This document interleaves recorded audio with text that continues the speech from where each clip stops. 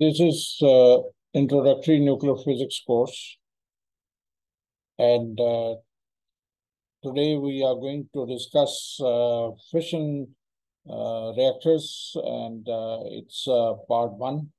It's a three lectures series on fission reactors that we are going to talk in detail. And I am Dr. Nasir Majid Mirza. The fission reactors, as you can uh, see around the world are producing electricity uh, as a byproduct of the fission uh, reaction. Uh, and uh, this is one uh, example in which the large cooling towers are seen emitting the, the exhaust steam which is going out and the small reactor buildings uh, in this uh, region are in are really the uh, reactor buildings where the nuclear reactor is placed. Let's uh, start our discussion with the fission, which is based on uranium. So fission is uh, basically the uh, reaction in which large energy is produced and uh, that uh, energy comes as a result of the uh, process of uh, splitting the uranium uh, nucleus into two fission fragments and two or three neutrons that come out upon the absorption of a thermal or a low energy neutron. this happens the uranium nucleus uh, basically gets uh, uh, split into two fission fragments and the binding in energy or the energy changes uh, is released about 210 million uh, electron volt energy is uh, released in one reaction. So if there are many reactions that are taking place, um, then this energy is uh, very large. The neutrons that uh, really are the byproduct uh, are the fast neutrons that come out of the fission reaction. And these neutrons then continue the chain by getting a slowed down and absorbed into another uranium and the process continues. The energy produced by fusion is also a, a another uh, large energy producing uh, reaction. And the fusion is a process in which the uh, lighter elements like hydrogen atoms uh, combine to produce uh, a, a, massive, uh, for example, helium atom. And in this process also, we get the energy emitted and per reaction, this energy is you know, of the order of million electron volt, and therefore the fusion is another uh, possible uh, reaction in which the large energy can be produced and then can be used. The systems uh, of uh, of uranium uh, and uh, um, and a source of neutron then can play a role that neutrons can get multiplied. From one neutron you can have two neutrons or three neutrons per fission and then this uh, can uh, keep on escalating uh, with the passage of time. And uh, the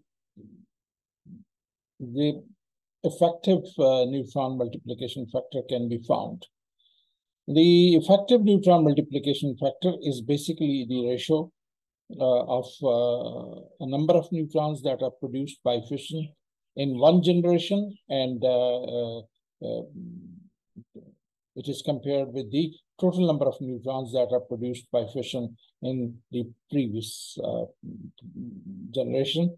And the ratio gives us the multiplication. How much um, is multiplication taking place.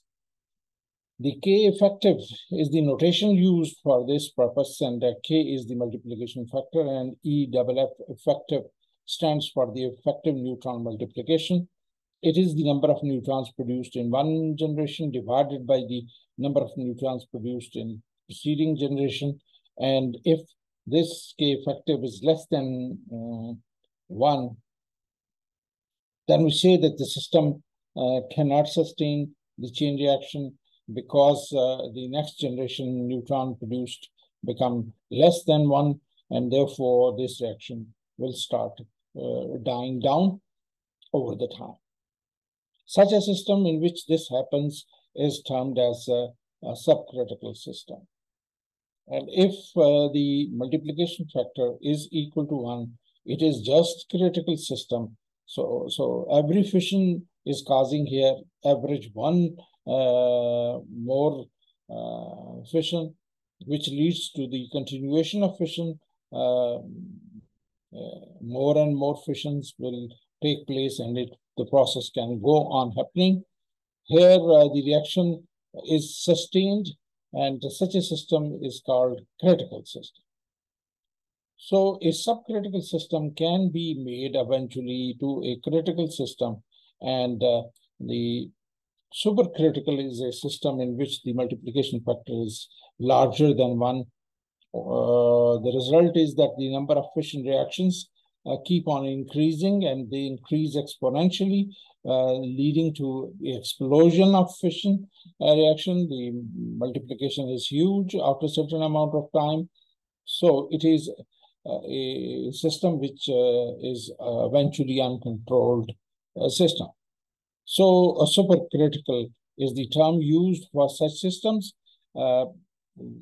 one can have a subcritical system which can be converted into the critical system and then eventually made uh, supercritical. The question is how to develop a controlled critical system uh, which will keep on producing the electricity. So today's uh, talk is more focused uh, to uh, the generation of electricity from uh, nuclear um, power plant which is capable of uh, fission reactions and which can be made subcritical, which can be converted into a just critical, which can be made slightly supercritical and then controlled. So that's the target of our uh, today's discussion. A controlled uh, nuclear reactor system is uh, such a system in which the uh, multiplication factor can be uh, equal to 1 or could be increased slightly larger than 1. The reactors are in general used for um, generation of electricity. Uh, they can uh, be employed for the aircraft carriers uh, energy systems, submarines energy systems. They can also produce medical isotopes for imaging and uh, cancer treatment, and uh, they can also be used for the conduction of uh, research. So there are two main branches or streams for designing a controlled fission system. one type is the research reactor, and the other is the power reactor. Research reactors are those reactors that are operated uh, in universities or institutions of research uh, in many countries.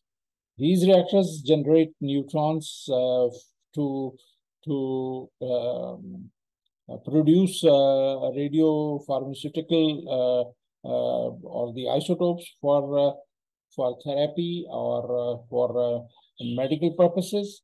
They can be producing the radioisotopes for testing materials and they are, are capable of, of uh, helping in conduction of uh, basic research in physics, chemistry, uh, material science, biology.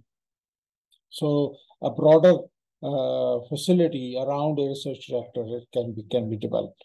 In nuclear power plant or a nuclear power reactor is a, a uh, is a plant which produces the thermal energy from fission reactions and converts uh, that thermal energy into a mechanical energy, and then that mechanical energy is ultimately converted into electrical energy, and uh, we have the electricity. How uh, the nuclear fission energy evolved and how we started uh, doing this uh, uh, conversion First, we know this uh, that Strassmann and Otto Hahn discovered unstable uranium and its its properties. So then efforts were done to convert uh, this into a, a, a uncontrolled material that can be used in, in war. And Second World War saw that such uh, materials were used as bombs. In February 1939, Neil Bohr discovered the properties of U-235 and U-238 separately. Earlier, 1941 uh, showed that uh, USA's uh, scientists started working on possibility of uh, making a nuclear weapon, and uh, the work was declared as the Manhattan Project. Later, uh, United States enter Second World War, and uh, the Manhattan Project initiation led to build uh, nuclear weapon uh, to help United States uh, of America in Second World War. The largest uh, technical program in the world um, in, in, a series of, of groups happened at that time the technical infrastructure was also developed for nuclear power plant side by side. Uh, in December uh, 2nd, uh, 1942, world's first controlled nuclear chain reaction uh, happened. A group of physicists uh, worked under Enrico Fermi uh, at the University of Chicago and developed the controlled nuclear chain system.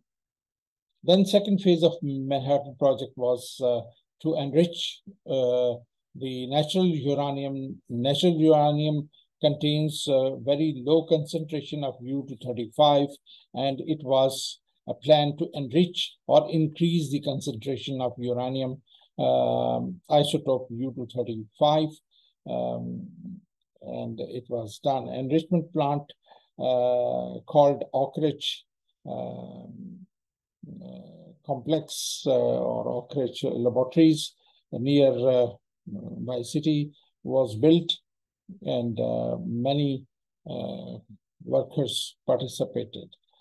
Then three nuclear weapons were manufactured and exploded in uh, 1945. We will, uh, in uh, today's talk, will discuss the fission um, uh, reaction-based uh, nuclear power plants. The fuel for such reactors is uranium, uh, as shown here, and plutonium, shown here.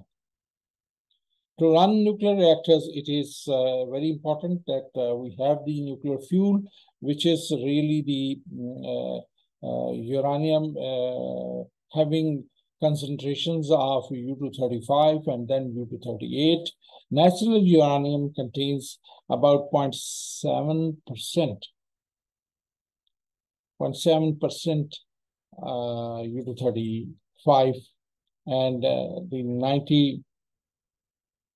99.3% is uh, the U-238. Uranium is uh, most commonly used element in uh, the nuclear fuel, although plutonium and thorium are also possible fuels, and the mixed uh, uh, fuel in which uh, uranium and plutonium both are there uh, are also being employed. Fuel is basically manufactured into small fuel pellets, and it is packed into fuel rods.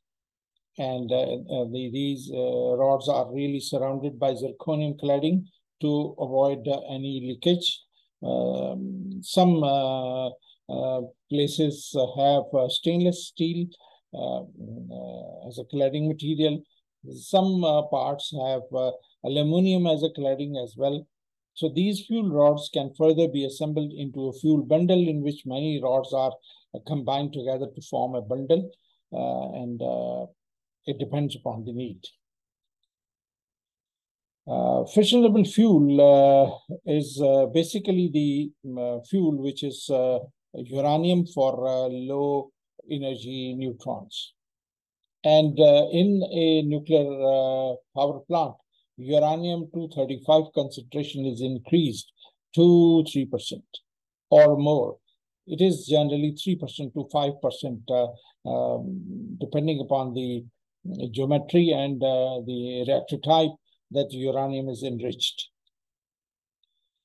Then fuel pellets are formed, and you can see that uh, the fuel pellet can be compared with um, the dime, and uh, we can see it's a, it's a few centimeters uh, size.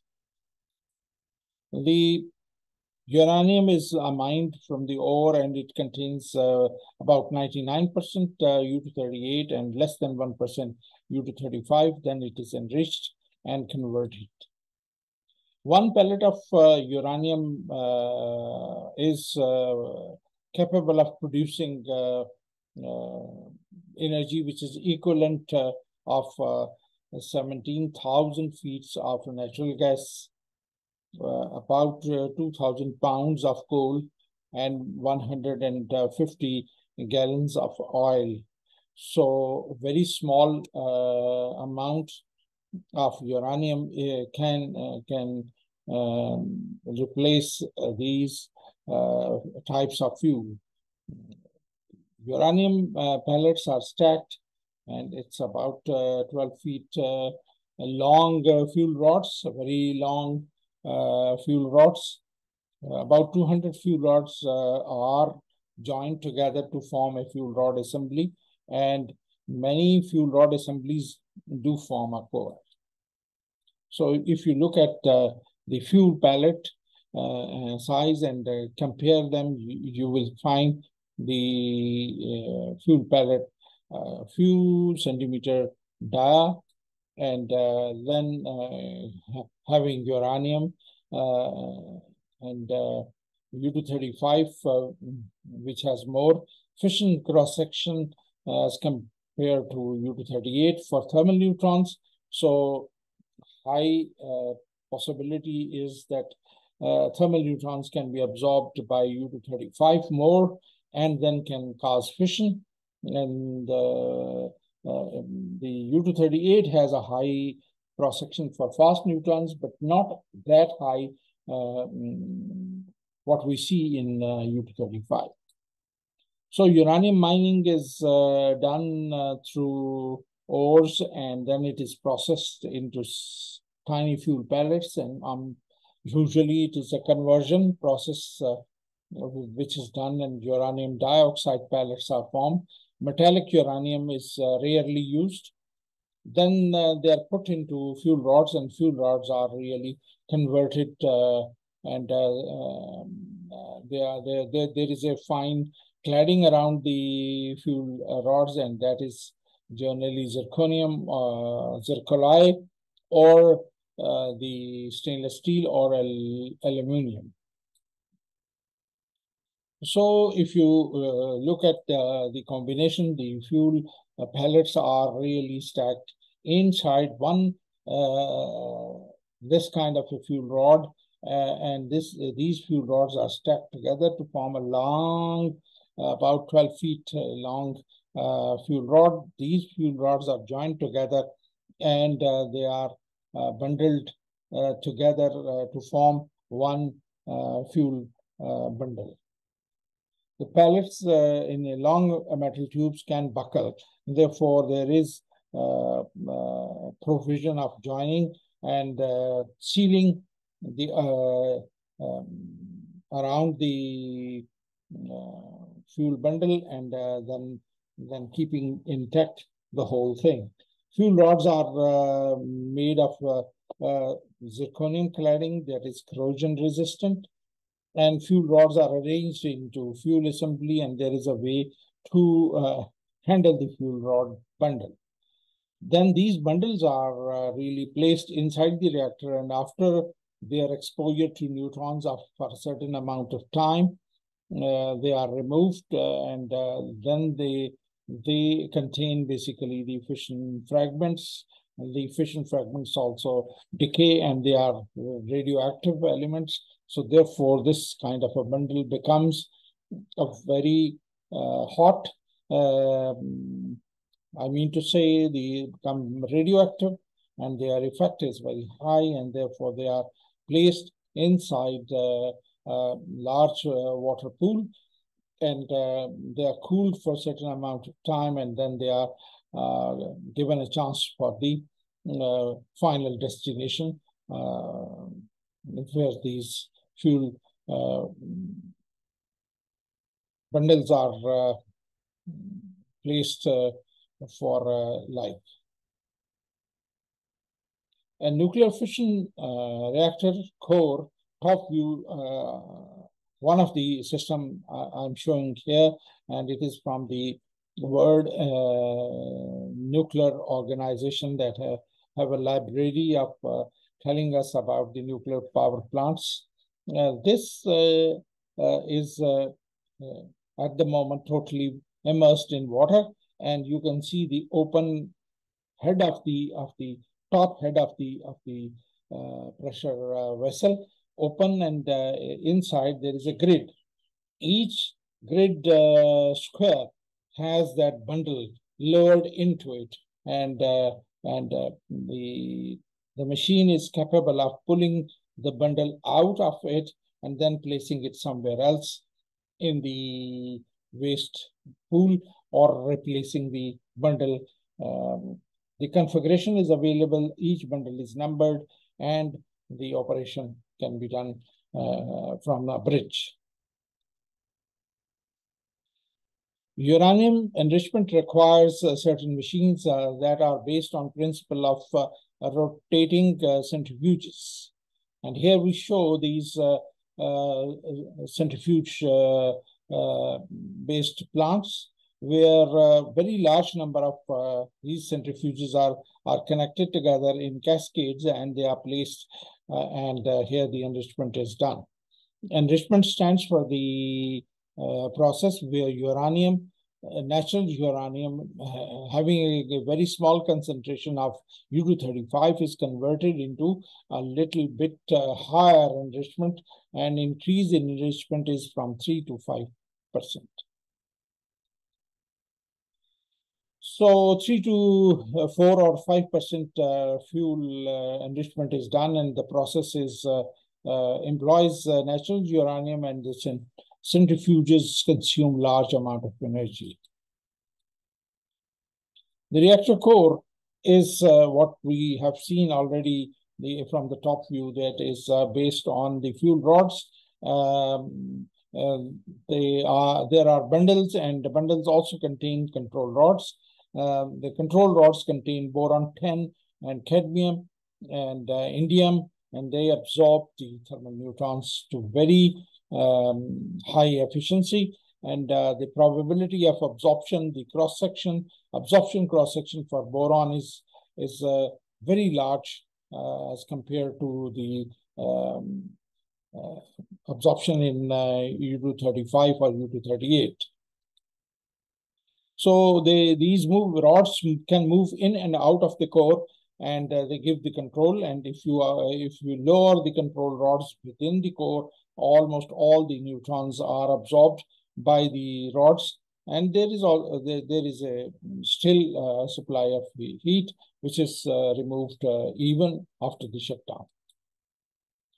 Nuclear reactor can be shut down fully by inserting control rods, and there are chemicals where the um, the boric acid is uh, enriched in boron 10 is uh, mixed uh, with pure water and then it is allowed to pass through the nuclear reactor core and then it also helps to stop the uh, absorption of uh, neutrons in, into fissionable material and uh, it starts getting the very high absorption rates in boron.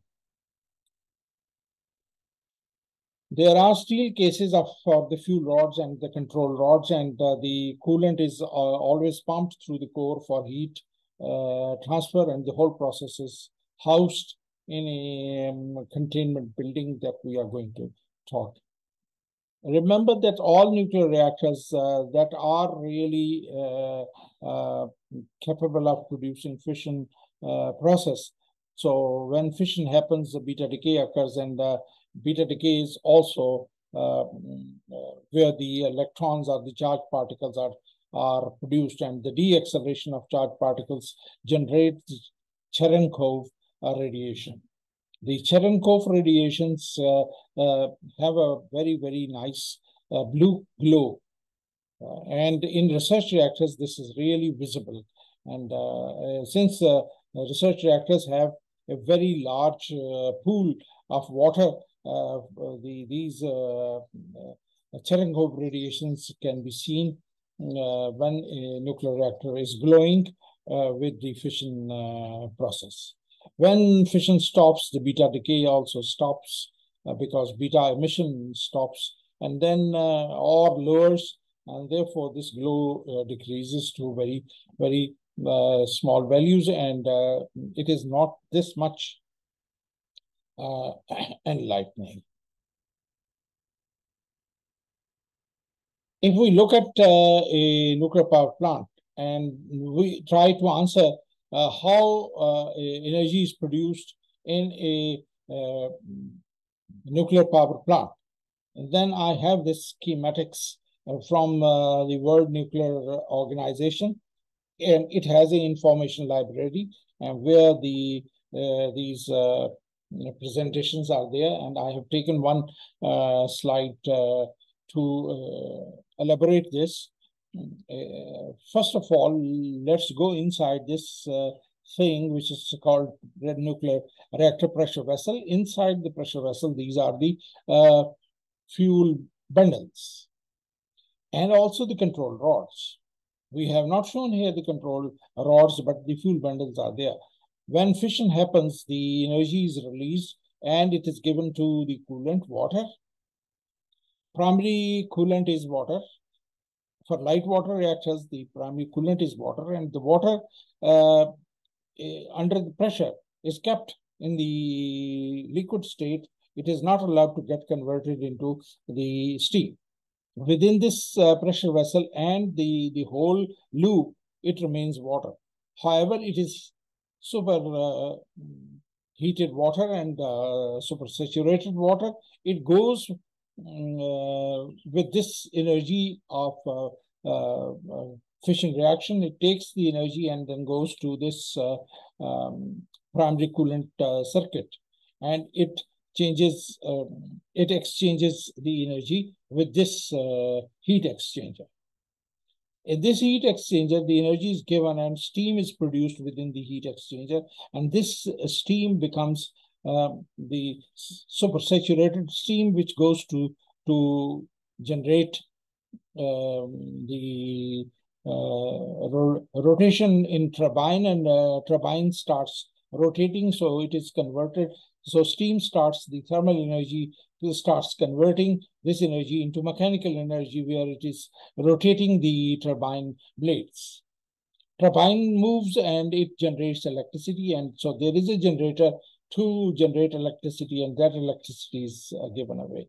The steam is, uh, uh, after giving the energy, comes out and it is uh, uh, still under the uh, sub atmospheric pressure and it goes to another condenser in this condenser, the condensation takes place and the steam is converted into the water.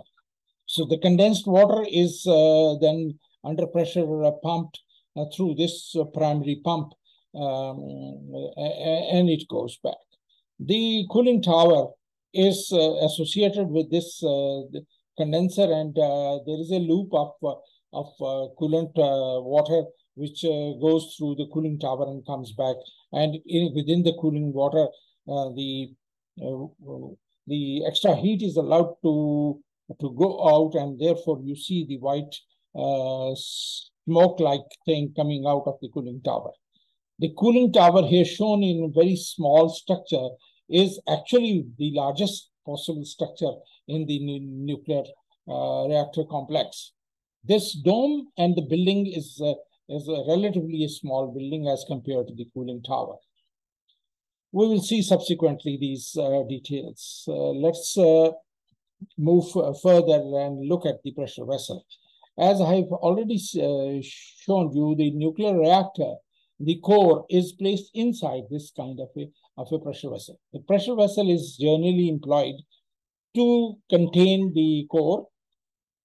The core contains the bundles, the fuel bundles, the control rod, and the mechanism for holding is at this head head of this uh, and there are the inlets and the outlets. Inlets and the outlets available and uh, such systems are uh, usually four at the most uh, four systems available for uh, the uh, heated water to go out and then come back as a as a cold water. So hot leg and cold cold leg is available. And this whole thing is uh, is allowed to to to be placed uh, in a, in a in a structure um, where this settles. And uh, overall this uh, thing is covered with a with a dome like structure where where the integrity of the of the dome ensures that uh, the uh, nuclear reactor building is safe. Uh, as I have already mentioned, there, there are four possible uh, loops that are made available with the with the pressure vessel. Here is the pressure vessel, and at the top you see the control banks. And you see one, two, three, and four steam generators that are connected to the to the hot leg, and uh, the cold uh, leg contains the coolant uh, pump the coolant pump, uh, the primary pump is, is attached to it, and the rest of the systems are there. There is one uh, additional thing termed as pressurizer, and we are going to show that this is a basically safety of the system. Remember that the pressure vessel uh, keeps uh, the uh, high temperature water in, in, in liquid form. So high pressure is uh, is introduced inside this this uh, reactor vessel, and uh, it keeps uh, the state of the of the uh, coolant as uh, liquid. A typical steam generator is a very large structure, and you can see here about 50 tires, large trailer truck is used to, to transport such a steam generator. Inside this uh, uh, steam generator, it is a very, very complex mechanical engineering design where the inlet and the outlets are provided and he, the uh, hot water enters into it and gets converted. Uh, the, the other part gets converted into steam and steam leaves the system. This is uh, the design of a pressure uh, pressurizer, and uh, pressurizers are employed for the safety purposes. Uh, they have uh, these two regions. One is the vapor region, uh, in which the water droplets are present, or the um, steam is present, and the other is basically the water region. The balance of the water and this region keeps the pressure of the pressure vessel. If water content is large, uh, and the water uh, uh, makes the vapor region small, then there is a need for uh, heaters to start working and heater will generate the heat and then will make uh, some of the water converted into vapor region and therefore again a balance will be achieved. Uh, if there is more vapor state or a vapor region is increased as beyond certain level, then there is a spray line which will start throwing uh, water into the system and that will uh, will start getting the vapors uh, conversion into vapor and will start again the balance. The surge line or the connection uh, will be such that the, the, the whole thing is a basically safety. If anything goes wrong, uh, the, pressure build up to a very large value, then there is a no nozzle available uh, with the spray line and uh, it, will act as a safety valve and it will get open. The uh, nozzle is called the relief nozzle. So spray nozzles and relief nozzles are there and the rest of the heaters support systems are there and it is one of one of the uh, very important in inherently safe uh, nuclear power plant system which ensures uh, kind of a control towards the heat transfer steam turbine inside looks like this. It is very large structure again, and if you go into the details of these these wheels uh, or the objects like wheels, if you look closely, these wheels are really containing these fins, and all these fins are placed at the angle, and they are really responsible for the steam um, which uh, hits and uh, makes uh, them the, the turbine to to um, convert the steam energy into the uh, rotational energy and that rotational energy uh, or the mechanical energy is eventually used to uh, generate electricity. As I already told you that there are cooling towers uh, that are outside uh, uh, with the secondary system, the cooling system of the nuclear power plant. They are the largest possible available structures. And uh, from these structures, the, the steam, the secondary cooling uh, steam uh, gets out and the temperature is maintained. The dome and the nuclear reactor building and the stack from which the effluents can be allowed to go outside. These are very small as compared to these two structures. And it is really remarkable to see the cooling tower designs um, that are based on the forced uh, heat transfer and uh, and uh, the convective free convective heat transfer only where wind energy or the the atmospheric energy is employed. Um, a nuclear reactor is a remarkable machine which produces electricity after converting many processes and simplifies many processes. We will stop uh, this uh, discussion here and uh, in our next lecture, we'll talk more about the nuclear power reactors and their components and their details and the types and we will try to elaborate with the examples. Thank you so much.